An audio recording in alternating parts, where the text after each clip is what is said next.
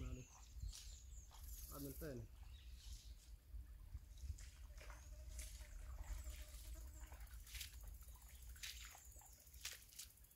ទឹកទឹកញញោម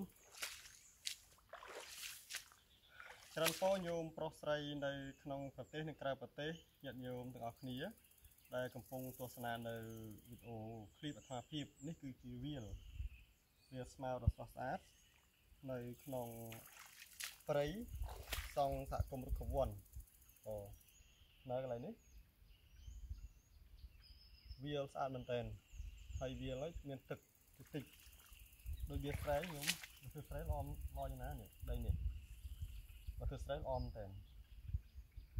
កាលទឹកវាមិនទាន់មានច្រើនញាតិញោម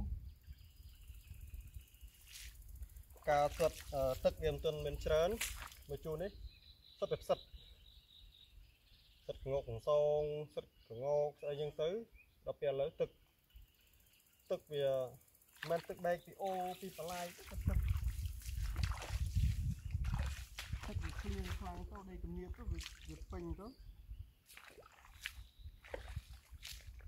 វាពេញចឹងទៅញោមហើយ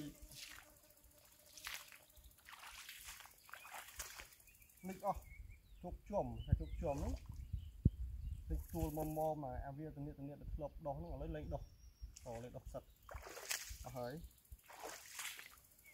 បើអ្វីសំខាន់គឺស្មៅស្មៅនេះស្អាតស្អាតមែនតើនេះយោមកក្នុងព្រៃបើនេះចូលមកជ្រៅមិនបានឃើញទិដ្ឋភាពបែបនេះអូចូលមកជ្រៅ